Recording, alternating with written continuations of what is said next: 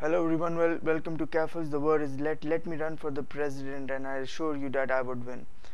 मतलब मुझे इजाज़त दें कि मैं प्रेजेंट के लिए रन करूँ और मैं आपसे वादा करता हूँ कि मैं जीतूँगा। Who let you enter the building without security check किसने आपको बिल्डिंग के अंदर आने की इजाज़त दी बग़ैर सिक्योरिटी क्लियरेंस के? और थैंक